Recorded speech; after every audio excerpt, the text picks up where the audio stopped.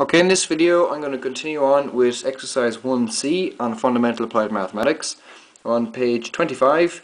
Uh, once again, during the exercises I'll move quite quickly during do, doing them.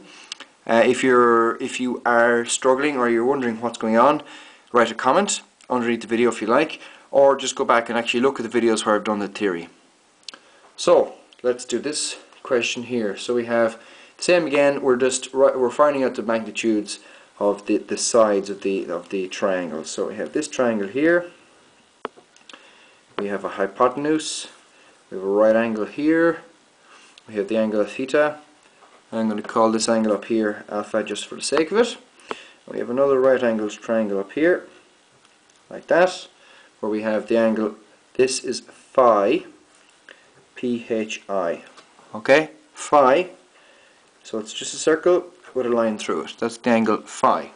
Don't be afraid of it. You could call it, if you want, you could say, you could call it the angle A, B, whatever you like. It just happens in maths, people like to use Greek letters, and I wouldn't be afraid of them at all. So that's phi, and well, we're going to do a new, another, another letter. This one is gamma. That's what gamma looks like. I'm going to call that gamma. And what are you given? You're given that you're given that tan theta is equal to 3 quarters. You're given that tan of phi is equal to 12 over 5 and you're given that h is equal to 13 find x.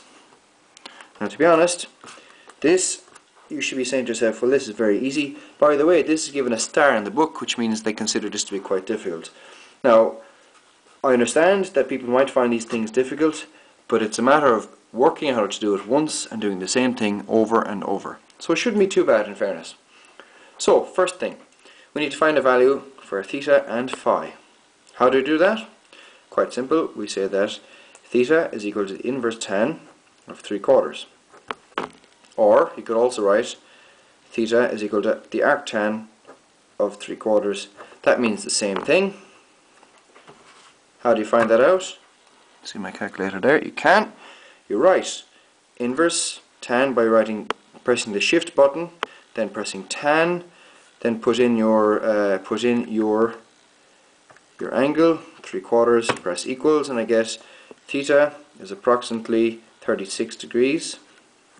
Do the exact same thing for phi, so we'll say phi is equal to the inverse tan of 12 over 5. Shift tan 12 divided by 5 gives an angle of approximately, we'll say 67 degrees. Alright, so let's just look at this triangle here first of all. I'm going to redraw that.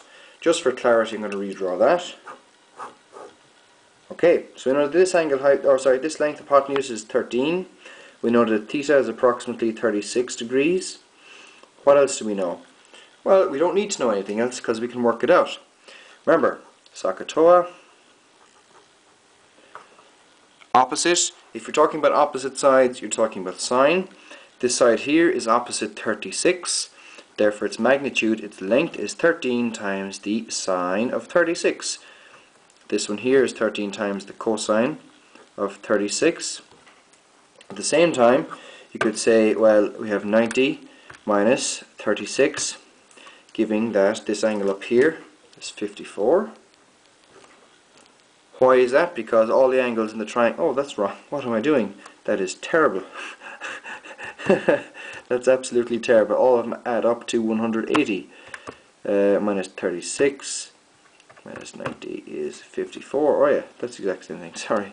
Yeah, 54 Right, all the angles in the triangle add up to 180. So we have those angles, or those magnitudes. We can do the exact same thing with our remaining triangle. The one up here. Okay, so what are we going to do? We're going to say that we have phi, we have a right angle, we have gamma, we know that phi is equal to 67 degrees, and we know what? We know this we know, what do we know? If you look at this now, the hypotenuse of this triangle is equal to the opposite of this triangle. But we know the opposite of the first triangle because we got it. It's here. So this one is 13 times the sine of 36. That means that this one here is what? Look lads, it, uh, I know it's starting to look more complicated, but the procedure has not changed one bit. This one is opposite, this is sine because we're going opposite of phi, so it's 13 sine 36, because that's the hypotenuse, times the sine 67. It's the exact same procedure. You set the magnitude of your hypotenuse times the sine of your angle.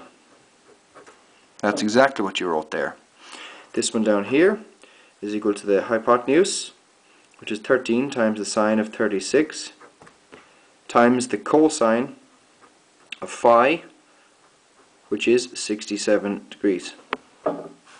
Sorry about that, now you can see that. 67 degrees. And you're asked to find x. Now I never even drew x. x is this length here. That's x there, which corresponds to this length here, which corresponds to 13 sine 36 cosine 67. And just for completeness, let's fire that into the calculator. We have what? We have 13 multiplied by the sine of 36 multiplied by the cosine of 67 press that equals and we have x is approximately 2.9 centimeters.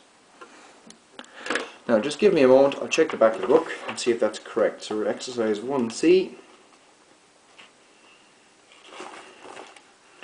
and we're doing question 4 x is equal to 3 that's what he says. And what do I get? 2.98 2.9 x is approximately 3 correct. Now look that I'd say if you can do that you can do any question uh, in relation to these and you really understand it